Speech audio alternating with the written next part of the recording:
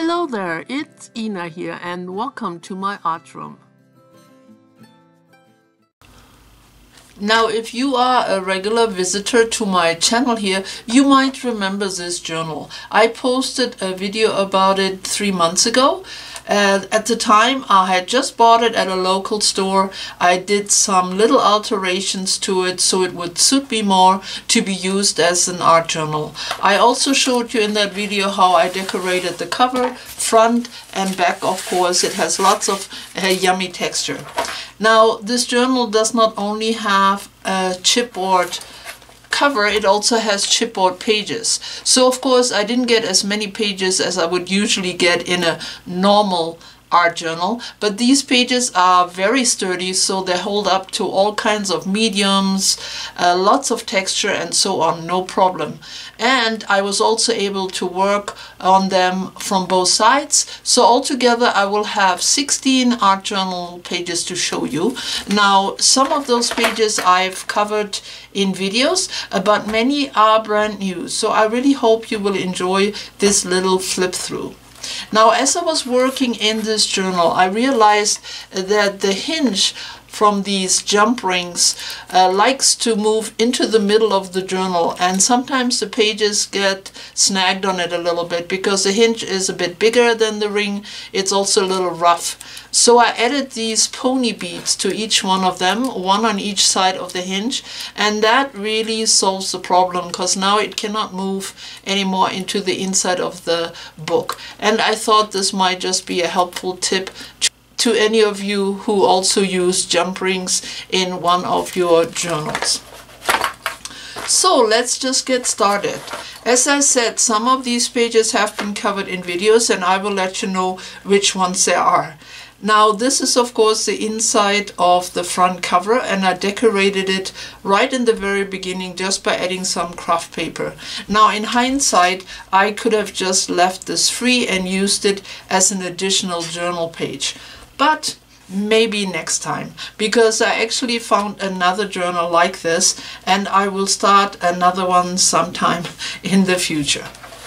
Now the pages in here are not in chronological order the way I made them. I rearranged them when I was done with them all and that's the beauty of working in a loose leaf journal. You can always change things around a little bit. So my first page was a bonsai tree. This is covered in a video and this has a lot of texture. I used rope for the tree trunk, I used shredded paper for the leaves, embossed paper here and texture paste. And again the reason this was possible was because of the sturdy substrate. So I really enjoyed making this page. I added just a simple word bonsai to it I also did some outlining around the tree and on the edges of the page. The dragonfly page here was also covered in one of my videos. It started with bits and pieces of paper napkin. I did some painting, I did a lot of detailing, some stenciling, and I added the little quote, what seems ordinary is often the extraordinary. Now this is a new page. It started with a white gesso circle on a black gesso background.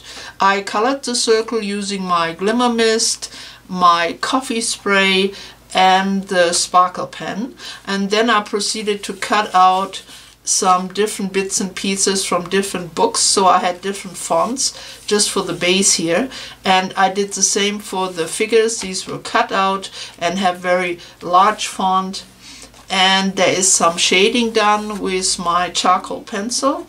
And I also added some splatter with white acrylic paint just to the black background.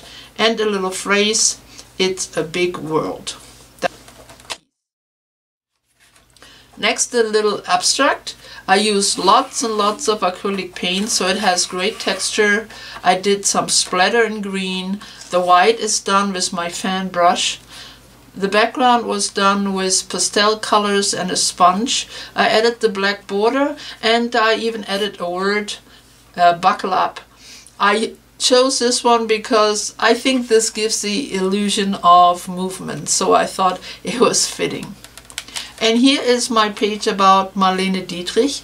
I had this Xerox image of her and so I did a collage page with her and bits and pieces of craft paper. Lots of outlining lots of highlighting a fancy border and I also did a lot of embossing. This was just the time I finally got some embossing powder and a heat gun so I had to play with it. So here is Marlene's page and this was covered in a video and so was this page. Here I started with a magazine image and some book pages. I added these plastic bread ties to it for extra texture. I used my primary pigment powders which are very bright for all the drippage and of course there is more coloration going on, stenciling and so on. Now this was covered in a video and it says keep looking right here. This is a new page. I started with uh, a teal and copper background with acrylic paints. I used these images from magazines and I used some strips of silk paper in teal and white and they're the ones who cover up half of this figure and are also underneath this part. Gives some great texture and very subtle interesting look. I did some stenciling I created the circle so he had a good place to be and so it kind of complemented each other. And a little bit of liquid pearls on the letters and here and on his clothing. And then I added the words showtime. These are huge uh, letter stamps and I hardly ever use them but I thought they look great on here. This is again a page I covered in a video. I started with a very colorful background, added black paint, took some of it back off using a baby wipe, painted a flower, gave it some special interest by adding uh, crackle glaze and some dots and that's pretty much it. Uh, I called it It Consoles the Spirit and another little bit abstract page. Here I started with a piece of craft paper. It had all these words printed on it like achieve, success and so on. I distressed it by using my brayer and some gesso and also some acrylic paints in earthy colors. And then I did a little abstract painting using my palette knife, a little splatter, and at the end I added these uh, letters. These are rather 3D and they are embossed. And I spelled out the word just be. And a little metallic rub brought out the texture on these. Some outlining and that was that page. This is also not covered in a video. It started by me really liking these uh, kernels. They are corn kernels, but they came in these amazing colors. So I made a very simple background with my sprays, added the kernels, they have outlining, they have some sparkle pen on it, and then I had these paintbrushes which were printed on rough linen fabric. So I cut them out, glued them down. I also found this word says seeker and it's also printed on uh, linen. And then I proceeded to just do some handwriting not necessarily to be read but just for decoration. It goes all across the page and on top of these images. I also added some of the fiber from the linen fabric and that's it for this page. And here I did a makeover of an old page uh, which didn't turn out it started with the big letters spelling out fun. There again the embossed letters just in really big size. And then I added some feathers I made from old book pages. Lots of detailing. There is real string, real little um, pearls here. I added some rusty to the edges, a lot of drippage and so on. And I have a video on this one so you can look up all the details. Next is my picture with the koi. I use some recycled materials. These are pieces from packaging. And so is this, and so is the cellophane. It has a little magazine image of koi fish here underneath it. And the plastic makes it look like it's in water.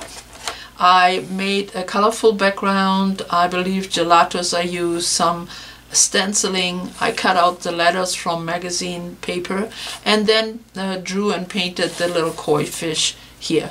A little bit of stamping, little bit of distressing, and this is covered in a video. And again, a bit of an abstract painting, this time figures. I use just a brush and different acrylic paints. The background is done first with um, watered down acrylic paint and a little stenciling here for the white. Then I created these images, then used a sponge or a base for them to land on and then I added the black figure. Now the whole page has some texture to it as I made some lines in my gesso um, right in the very beginning and it left a nice texture all across the page here. Then I added the word infinity down here. This was cut from a magazine. Some splatter too everywhere. There we go. And this is a very simple collage page. I used two main images, the mountains and the two dancers here. They came from completely different magazines, but the colors just matched so nicely. So I created the background, added the images, I ripped them out. I used my ink pads to do some shading and blending. I did some stenciling here too uh, with the white color and I also added extra dots with my Posca pen. I added the word together and this was sanded down a little bit so it didn't look too shiny. So here is that page. And here again I altered the magazine image, uh, this guy with a tall lady. I added the frame and then blackened out everything what was outside the frame. Created um, fun background with my palette knife, a little bit of stamping, added the word priorities, and that's pretty much it.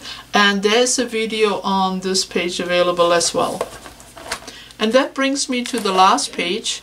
Here I played with my gelatos, which I had just bought, and uh, that's pretty much it. There is a little magazine image of the eye and I did add glossy accent to the eye which kind of ran down here. I don't know if you can see it in this light. Yep a little bit. I really like the colors on here. I named it Inspired Mess as it was really uh, just a page for me to play and have fun and here again is uh, end of the journal, it has a little sign. It says, the end.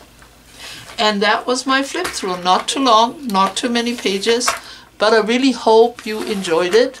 I hope you found these pages interesting. Thank you so much for coming and joining me. See you really soon again. Bye bye for now.